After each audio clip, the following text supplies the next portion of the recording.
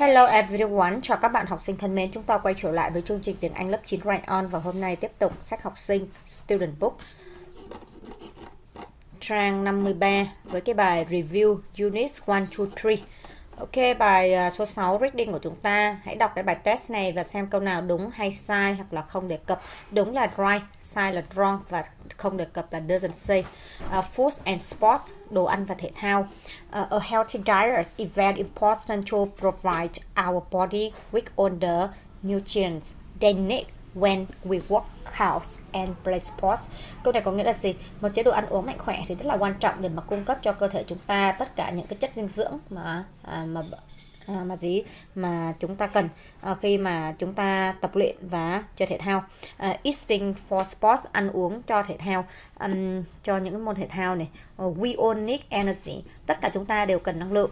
Uh, food rich in um, đồ ăn mà nhiều cái carbon hydrate tức là cái gì cái tinh bột á. Ví dụ như là bánh mì này rice là cơm này gạo uh, pasta là mì ống and potatoes uh, là khoai tây.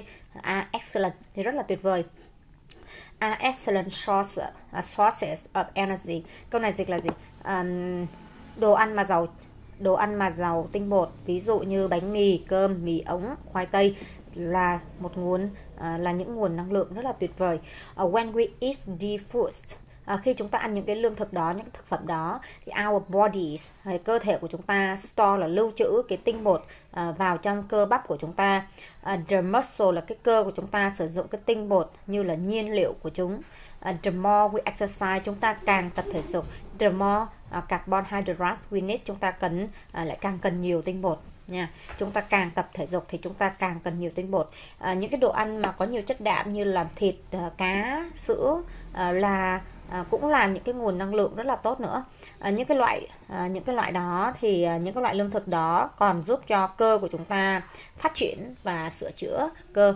À, những vận động viên thì ăn một cái chế độ mà có lượng chất đạm cao để làm cho cơ của họ và xương của họ khỏe hơn. Rồi uống drinking là uống uh, uống như thế nào cho những uh, cho tập thể thao. Uh, khi mà khi mà uh, tập thể thao hoặc là tập luyện thì rất là quan trọng cho chúng ta uống đủ nước ok?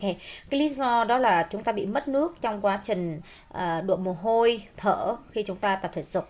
Uh, ok sweating là đổ mồ hôi breathing là thở. À, chúng ta phải nhớ rằng uống ít nước trước khi chúng ta bắt đầu tập luôn luôn giữ uh, nước À, với chúng ta trong suốt quá trình tập luyện. Uống một ít nước khi chúng ta hoàn thành quá trình tập luyện. Rồi ok chúng ta xuống cái one two three four five right strong or doesn't say. Number one is important to eat healthily if we play sports. Thật là quan trọng để mà ăn à, ăn một cách mạnh khỏe. Nếu mà chúng ta chơi thể thao thì câu này là đúng hay sai? À, đúng ha câu này đúng. Đúng chúng ta à, viết chữ r vô. Right right okay. Number two we can only find carbohydrates in rice and potatoes. Chúng ta chỉ tìm thấy cái tinh bột trong gạo và khoai tây thôi. Là câu này sai rồi. Những cái câu nói mà có từ only chắc chắn sai. Um, ok câu số 3 vận động viên sử dụng những cái ờ, cái chế độ ăn uống mà có chất đạm cao để mà làm săn chắc cơ bắp và xương. À, câu này làm săn chắc cơ bắp và xương. Ok câu này đúng là right. À, câu số 4 một vài môn thể thao thì yêu cầu những cái món ăn đặc biệt à, cái lương thực đặc biệt cái này chúng ta thấy không có đề cập đơn C câu số 5 chúng ta nên uống nước trong suốt quá trình tập luyện là đúng rồi là right. Rồi chúng ta xong cái bài số 6 trang 53